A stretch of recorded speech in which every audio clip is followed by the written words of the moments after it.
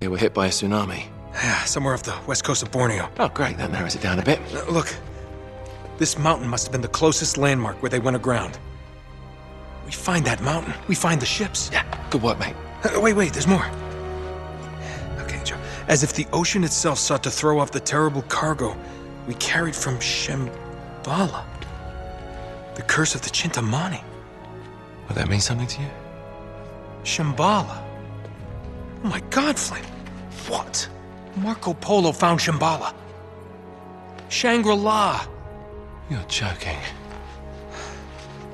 If they were carrying the Chintamani stone, it might still be there.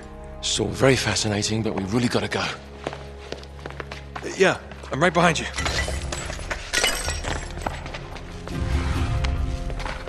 The hell are you doing? Sorry, mate. This is where we part ways. Wait, Flynn, we had a plan. No, you had a plan. Turns out I've got one of my own. Uh, come on, throw me the rope. Don't be stupid. Oh, yeah, right. You're the mastermind. Only you overlooked one little detail. Didn't you, partner? So what are you gonna do, shoot me now? No, I just need you out of the way for a little while. Shit. You think I didn't know about the ships from the beginning? Any schoolboy could have figured that out.